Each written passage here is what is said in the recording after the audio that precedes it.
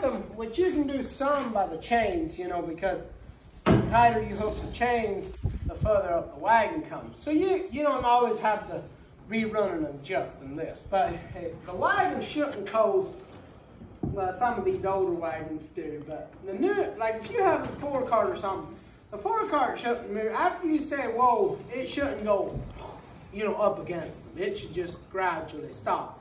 If it like has too much flop, you know, you need to tighten something up, you know, where it ain't, where it ain't got too much flop. Now these croupers, they're a matter of opinion. Depending what you're doing, you can take the croupers off. He was like a man that we sold a team of horses the other day. He said, he called me and we were talking about this. Well, he was wondering, he brought real fat horses and they were rubbing the hair off right here. And he was wondering if he could get a pulling collar. Anyway, we was talking. He